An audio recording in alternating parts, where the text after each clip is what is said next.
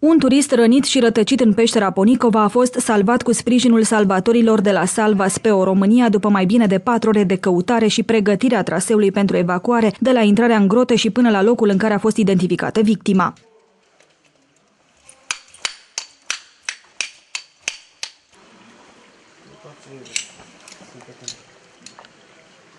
Pe de toate echipele, ce știți despre echipa E8? Terminat recepția aici, pe ce au? E8 are telefon acolo.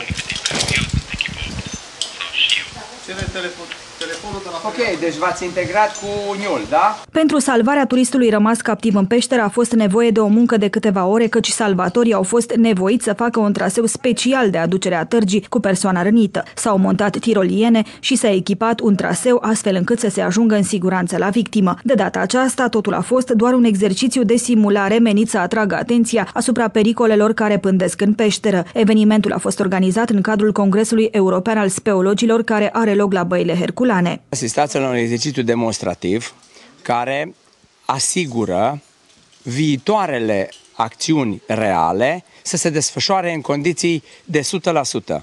Ri- uh, risc uh, nul și 100% șansă de uh, salvare în condiții pe care uh, le considerăm să fie, să zicem așa, uh, cele mai bune. Rolul exercițiului este de omogenizare a tehnicilor de salvare din mediul speleal.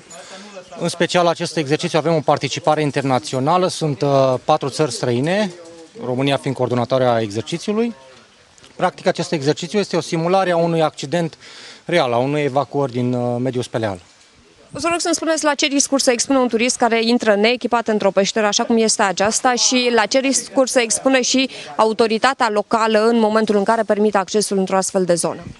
Deci activitatea de turism speologic este reglementată prin legea 402 din 2006. Uh, Fiecare administrație are un plan de management prin care permite sau nu accesul în diverse peșteri turistice. A permite accesul unor turiști neechipați în uh, peșteră uh, fără pregătire superioară speologică este un fel de încălcare a legii pe față. La exercițiul de simulare a unei intervenții de salvare din peșteră au participat și trei mehedințeni, membri ai clubului Speu Alpin Mehedinți. Noi, Speu Alpin MH, avem uh, participanți la exercițiul de salva speu atât de din peștere cât și din, uh, din adâncuri. Avem uh, mulți colegi de-ai noștri, membri ai Speu Alpin, autorizați ca salvatori, deși nu suntem constituiți într-o formație salva Speu. La nivel de Speu am înființat, dar trebuie să îndeplinim niște proceduri conform legii 402 pe 2006, care spune că trebuie să încheiem niște contracte cu autoritatea administrativă la nivel județean, ceea ce n-a reușit până în acest moment.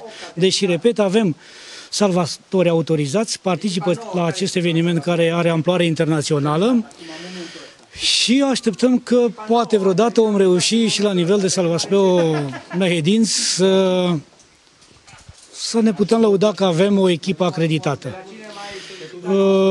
Pot să spun că avem, așa cum am spus, salvatori și la salvarea din peșteră, avem trei membri, toți trei sunt autorizați și avem trei la salvarea din, din adâncuri. Prin exercițiul de simulare organizat de către Salva Speo România s-a urmărit să se atragă atenția în egală măsură turiștilor cât și autorităților locale asupra măsurilor de precauție care trebuie luate atunci când se intră în mediul subteran. Peștera Ponicova este un loc căutat de turiști în special în perioada de vară. Peștera are două căi de acces. Se poate intra pe uscat din comuna Dubova, dar accesul se poate face și de pe Dunăre.